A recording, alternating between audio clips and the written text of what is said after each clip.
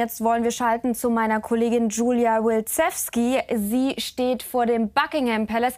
Und Julia Alexander, der hat ja jetzt gerade schon gesagt, der Premierminister wird nicht kommen, sagt, er möchte den Platz frei halten, wirklich für die Familie mit dieser wahnsinnig kleinen Teilnehmerzahl. Was wissen wir denn noch über die Beerdigung?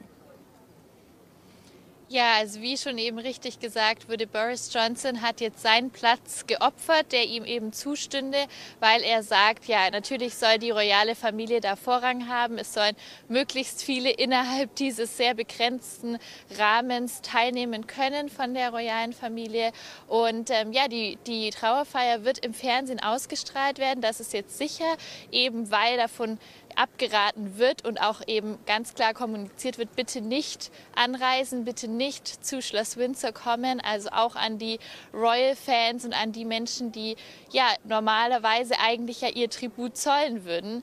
Ähm, es wird sehr stark davon jetzt aufgrund der Corona-Pandemie davon abgeraten, irgendwie dahin zu reisen und hinzukommen und deswegen wird es ein TV-Event in diesem Sinne werden, damit die Menschen von zu Hause aus teilnehmen können. Mehr Nachrichten und Breaking News nur bei Bild. Schau dir hier das nächste Video an und vergiss nicht zu abonnieren.